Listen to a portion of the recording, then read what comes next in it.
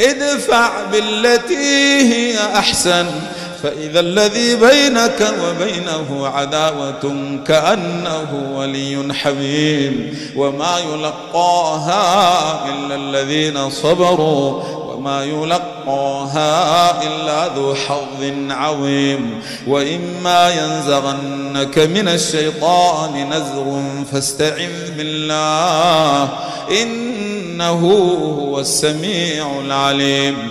ومن آياته الليل والنهار والشمس والقمر. لا تسجدوا للشمس ولا للقمر. واسجدوا لله واسجدوا لله الذي خلقهن إن كنتم إياه تعبدون.